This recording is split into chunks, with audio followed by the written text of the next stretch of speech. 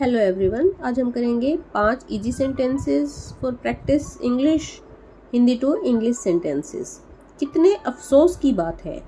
How sad कितने अफसोस की बात है? हाउ सैड फिर क्या समस्या है?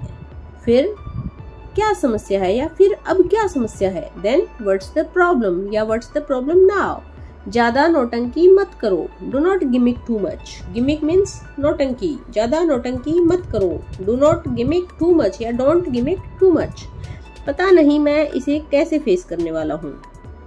I don't know how I am going to face it पता नहीं मैं इसे कैसे फेस करने वाला हूँ। I don't know how I am going to face it जिद्दी मत बनिए।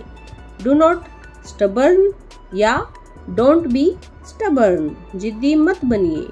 डोंट बी स्टबर्न आज के वीडियो में बस इतना ही. Thank you for watching my video if you like my videos please subscribe my channel